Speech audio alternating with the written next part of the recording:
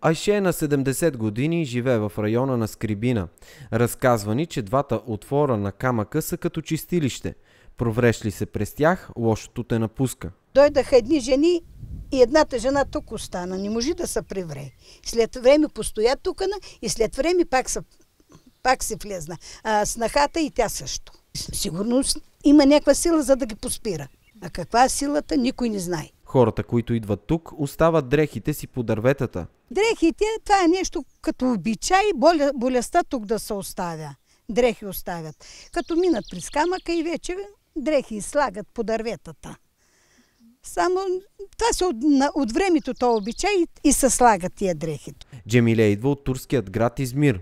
Чула, че камъкът може да помогне на жени, които искат да имат деца. Има усещане, има някаква сила, а пък, а, нали, Всевишния, той, той е за всички.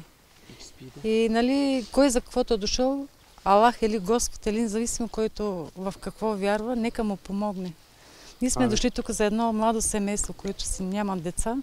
В района на скалите са правени научни изследвания, които доказват, че на скрибинските камъни са правени и древни ритуали.